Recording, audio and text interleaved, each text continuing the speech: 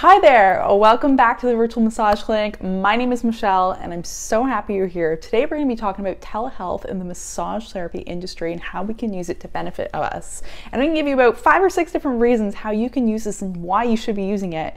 So stay tuned for all of those. Before we dive in, if you're new to this channel, I am a former registered massage therapist from Toronto, Canada, so I'm technically retired. I'm currently living in the States um, doing this and I divide my time between the States and at the present Latin America as well, where I do humanitarian work and offer my signature 80 hour massage training program, which you can learn about in this video. So today I want to talk about telehealth because I think this is a upwards trend we're seeing in the in the healthcare industry as a whole.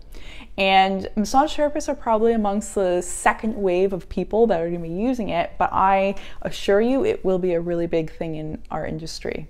Let's just start with a little story about coronavirus. During coronavirus, we have all become pretty comfortable on camera. We've all had a lot of Zoom sessions, and doctors have kind of capitalized on this, you know, face to face opportunity and interaction by moving into telehealth. And the way doctors are using telehealth right now is by doing anything that they can face to face on camera. So, doctors are using programs like Zoom Health. There's a whole slew of HIPAA compliant online platforms that allow you to have a conversation with your patient or your client. And the benefit it's serving doctors at present is that they don't have to remask, um, reglove, um, so that there's a lot of COVID benefits there, but it's also returning them a higher volume of patients. So a lot of doctors actually saw a dip in their patients coming through the doors during COVID. And now they're seeing those numbers come back up again because they're able to do telehealth consults. Th this is totally HIPAA compliant. So why aren't we doing this as massage therapists? Now, before you go, she's crazy, let me tell you, I understand. I understand that we cannot do a whole lot um, like this on camera with our client. We cannot substitute camera for hands-on range of motion, postural assessments, orthopedic assessments, assessments, the actual massage practice we can't do like this. But here's what we can do over the camera. Number one, you can, you can and should complete your intake interview on here. Let's say you assign five to 15 minutes for your initial intake with any new client, especially if you're in a therapeutic setting, medical setting, um, car accidents, MVAs, all that. That five to 10 to 15 minutes that you spend in a treatment room, you could spend like this. So you're minimizing your risk of contracting coronavirus that's number one. That's a huge, huge plus of doing this. Number two, if you do a face to face consult with your client, you can still bundle it price wise into your hour package. Just take it off, give them a 45 minute treatment in person, give them a 15 minute initial intake on camera. So, what you would do in that situation is schedule your telehealth consult maybe a day before you meet with them face to face. And so here's benefit number two. As a practitioner, it means that you have that much more time to process and think about what you want your treatment to be. Now, I know some of you are gonna say this is cheating, but honestly, like, we're in the business of giving our clients and patients the best treatment possible. And how many times have you had a client where you say, oh, if only I had like a little bit more time to process that. There's a lot of things that we're taking in a mile a minute about our client. And a lot of the time, I don't know about you, but my second treatment will be better than my first because I've had a little bit of time to really sink my teeth into what my clinical impression is. The third benefit is massive. So if you, regardless of whether you are female or male, sexual solicitations do occur in our industry, and it's a huge topic, a huge discussion. But get this imagine if you do a 5 to 10, 15 minute interview with your client on screen first, this number one allows you to flag potential sexual solicitations. And number two, it will significantly decrease the chances of anyone dreaming of making a sexual advance. It sets a boundary. It means that you can, with your client's consent, record your intake. So if they were to uh, sexually solicit you or if anything inappropriate were to happen, you already have them recorded on camera. Hear me loud and clear. You're never ever going to record the massage treatment session. But all you need is that 5 to 15 minute initial intake with them on camera. And this goes to protect a lot of therapists. Think about I had a I had a conversation with a new grad a couple weeks ago, and um, he's practicing down in Texas. I know if you're watching this, you know who you are.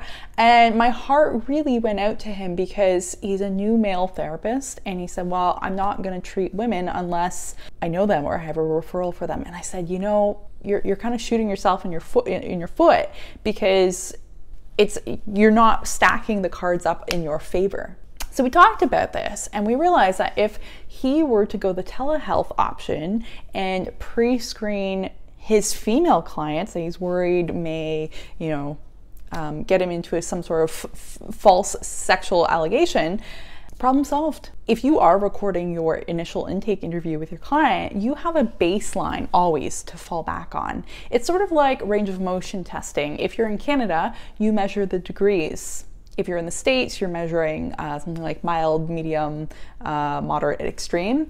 But when you have a baseline for your results, you always have that as a basis of comparison. So, the same way we record the results of our um, assessments, having a formalized intake interview results, something that's not handwritten, can actually be very, very valuable it gives you something to fall back in the future as a metric, something tangible to, to say, okay, we started here and we've made this much progress. If you are as convinced as I am that telehealth and uh, online client intake interviews is the way of the future, there's a couple things you need to know.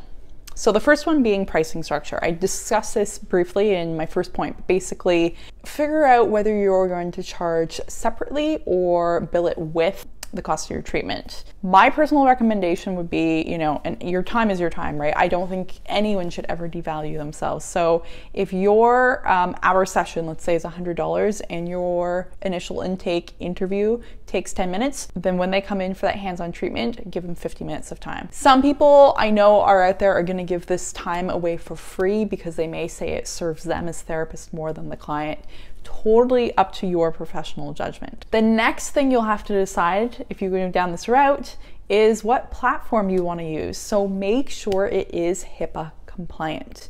Make sure that um, you're not using something like a regular Zoom or WhatsApp because a lot of these softwares do actually fish for information and you can get yourself in a lot of trouble. I will do a little bit of research about some HIPAA compliant software and put a link below. Um, I don't think there's any affiliate links. If there are, I'll let you know. The third thing you'll need to know to safeguard yourself is just check in with your governing body. So, whether you're licensed in um, a state of America or a province in Canada or elsewhere in the world, please make sure you do your due diligence and check to make sure that you're clear to do this. And the fourth thing you need to know if you move forward is to uh, script what your consent spiel is going to look like and make sure that the client is informed. I will draft a consent spiel and I'll put below. Uh, it will just be one or two sentences to make sure that you have informed consent from your client, both to move forward with the video screening, but also to record it. And the last thing you need to know is that you and your client both need to have privacy to conduct these online interactions. So you need to be in a private spot where um, the client's privacy is not compromised. So you may still need to go into your um, clinic to conduct these intakes, and your client well, if they compromise their confidentiality and privacy, that's totally their choice. But as a ethical healthcare provider, I would definitely recommend you let them know um, the risks and benefits of finding a solitude, place of solitude to chat with you in. What telehealth is not going to be good for is any kind of uh, postural. I personally would never ever use video at this point in time with our current technology. Uh, range of motion, orthopedic assessments, obviously the hands on you can't, but I highly recommend adapting this new technology to your practice, and I hope it goes well for you. If you have experience in doing this, please drop a, a, line below. Share with everyone watching this how it's gone for you.